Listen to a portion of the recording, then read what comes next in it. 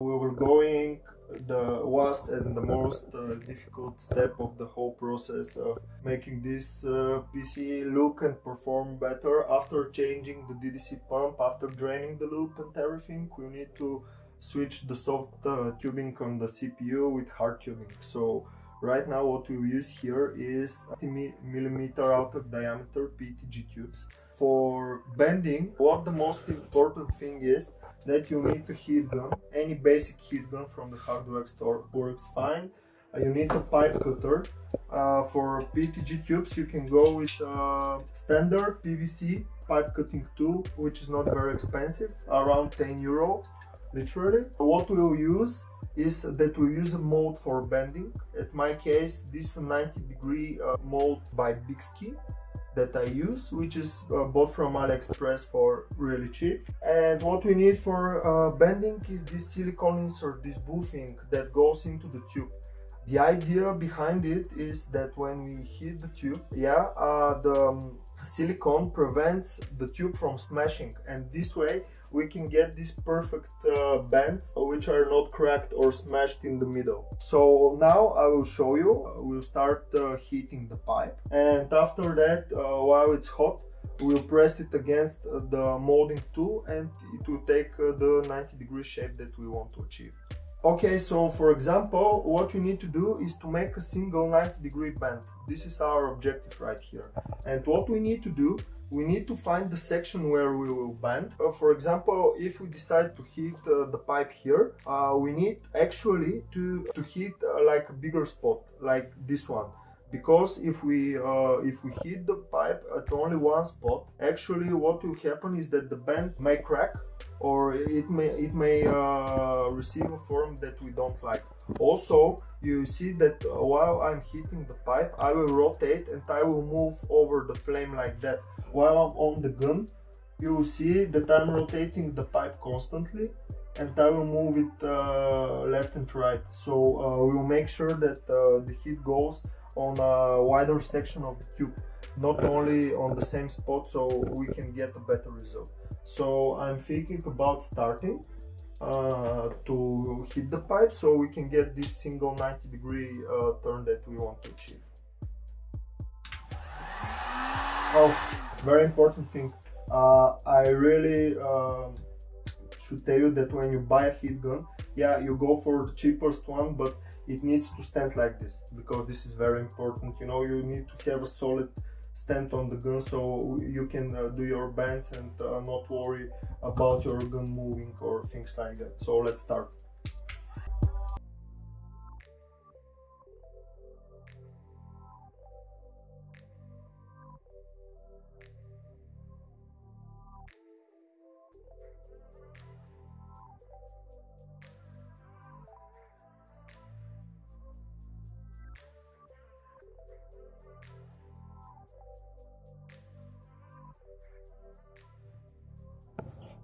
Okay, so what you see right now is uh, that we managed to hit the pipe pretty well.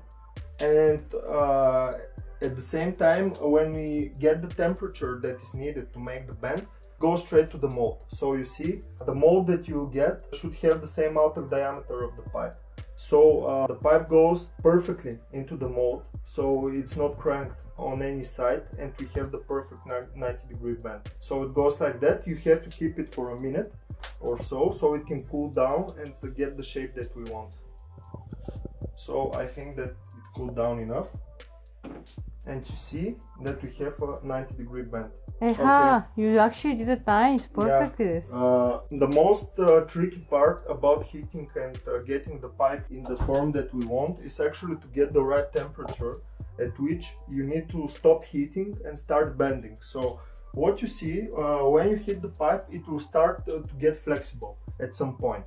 And at this point, you should not, in the initial point of uh, getting flexible, you should not start bending. You see that uh, as far as you go with the heating, the, the pipe in your hands will get very flexible and very flexible. And there will be one point where you say, okay, I think that I should uh, hit here, but actually, if you ask me, uh, the right moment of bending is when you think that it's the correct, is the right way, you should bend a little bit more and uh, this way you get it. Uh, okay so basically uh, you should not worry about overheating it because you saw how much time it took me.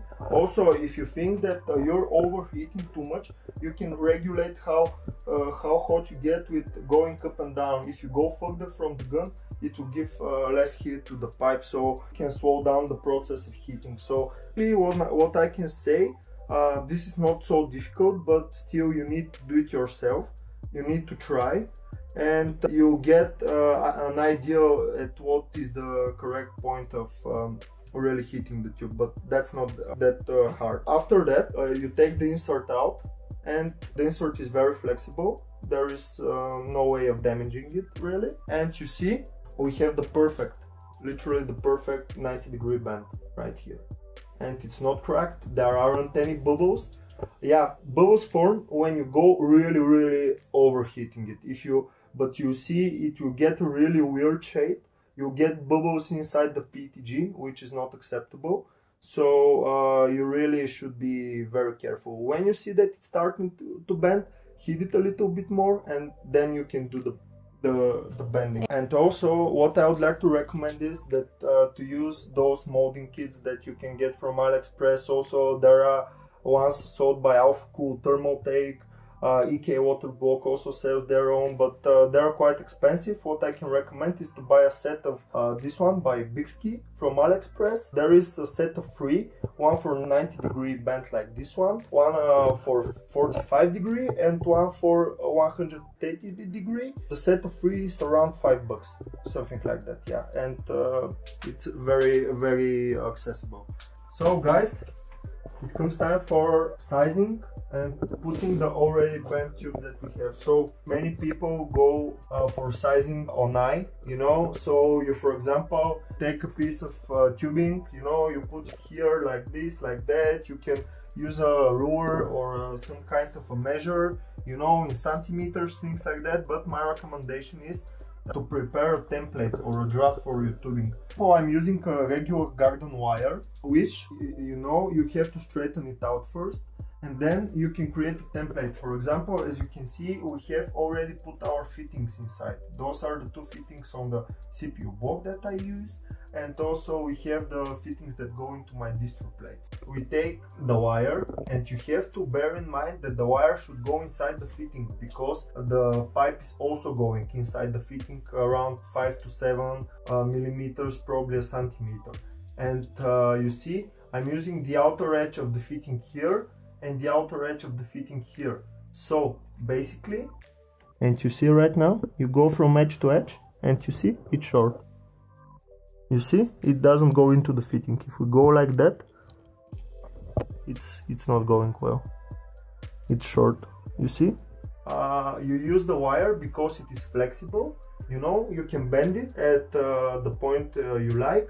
This is the easiest way for me and it turns out that it is uh, surprisingly working well. Uh, because believe me this is the hardest part of uh, doing hard tubing. When you start sizing and cutting the tubes this is the point where you uh, start throwing away a lot of tubing which is really expensive. Uh, when you're sure that this is uh, the correct sizing and form of the tubing that uh, we want to cut, you just take the wire and you have to put it on the already pre-bent tube that you've done.